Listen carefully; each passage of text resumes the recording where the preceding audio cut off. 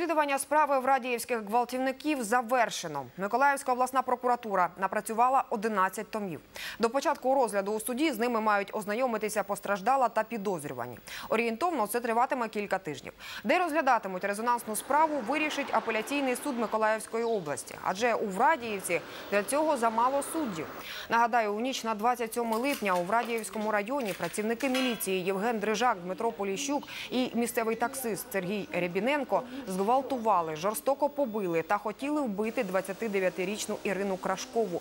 Жінці вдалося заховатися. Та коли вона заявила на одного з правоохоронців, місцева міліція почала гальмувати справу. Справедливе розслідування почалося лише після того, як місцеві мешканці пішли на штурм райвідділку і виник великий резонанс. Зараз, після складного лікування, постраждало виписали з лікарні. Нині вона вдома з сім'єю. Жінка вимагає для своїх кривдників найвищої міри покарання довічного ув'язнення.